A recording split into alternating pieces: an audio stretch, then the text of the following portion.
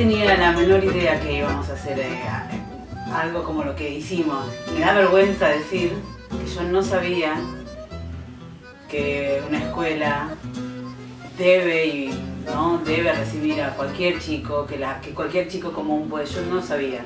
Yo tampoco lo sabía. Buenos días. Buenos días.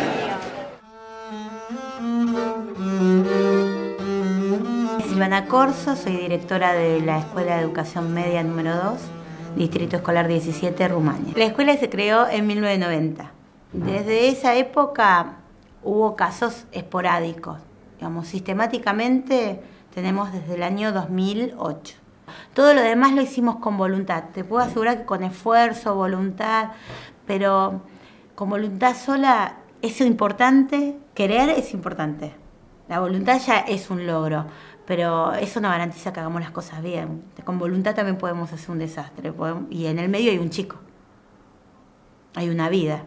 Eh, mi nombre es José Díaz, eh, soy profesor de historia de, esta escuela. El principio de la cuestión era eh, generar un grupo y que ese grupo sea homogéneo, sea compacto y, que siga al, profesor. Pero bueno, cuando aparecían estos chicos, bueno, uno se planteaba si estaba preparado para, para ese caso en particular. Esta escuela comenzó este año con el régimen de profesor por cargo. La tendencia ahora, se calcula el 2015, todas las escuelas lo van a tener, es que eh, terminar con el profesor taxi, darle, digamos, eh, asumir de acuerdo a un mínimo de horas, que son seis horas mínima que tiene que tener como titular en la escuela, se le suman horas extra clase para trabajo en equipo, para trabajo en proyectos de la escuela. Y eh, es condición poder tener un horario de reunión en común. Entonces ahí se me ocurre que ese puede ser un espacio de capacitación. Además traigo capacitadores externos. Soy María José Borsani, soy profesora en educación diferencial y terapista ocupacional en salud mental. En el año 2011 ella gestiona una capacitación para seis escuelas secundarias que se realiza acá.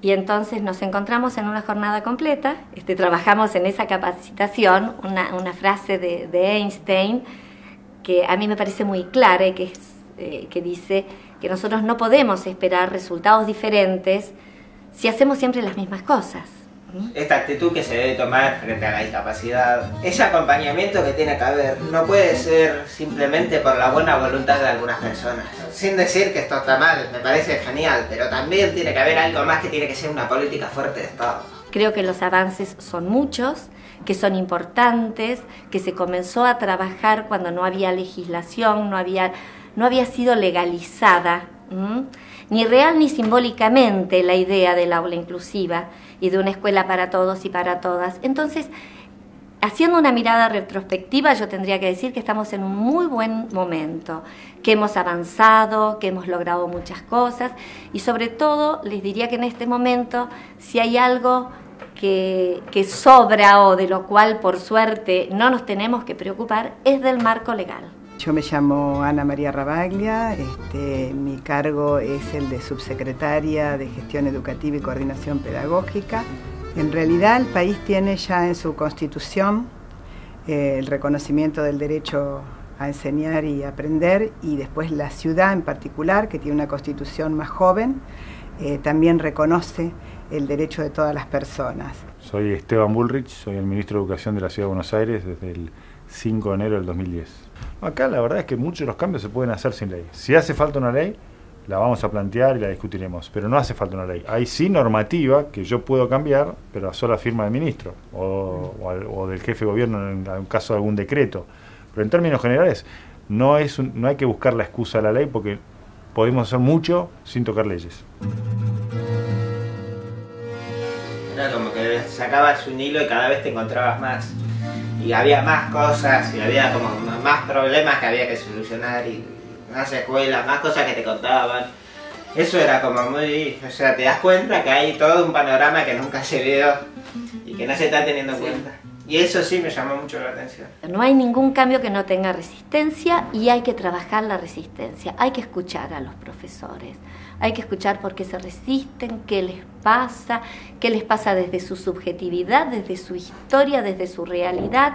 Y hay que acompañarlos. Entender qué es lo que el otro necesita y trabajar para eso, porque no hay una frustración más grande para alguien que está haciendo un enorme esfuerzo. Que, que llegue al final y no encuentre esa recompensa. O sea, la única forma de estar más cerca de ese chico si lo, lo, lo, planteamos con una cuestión en particular, es estando más cerca de todos. Me parece que ahí hay mucho por hacer, pero fundamentalmente con los adultos del sistema. No estoy hablando de lo que hay que hacer en realidad con los alumnos. Mi consejo, primero, informarse, estudiar, ser abierto, escuchar, ir a, ir a buscar otras experiencias, y después hacer un trabajo de hacer docencia con sus docentes. Es Yo enviaría niños, o si tuviera niños, o mis sobrinos me gustaría que estuvieran en Rumania, o no en Rumania, pero en una escuela como Rumania. Totalmente. Sí.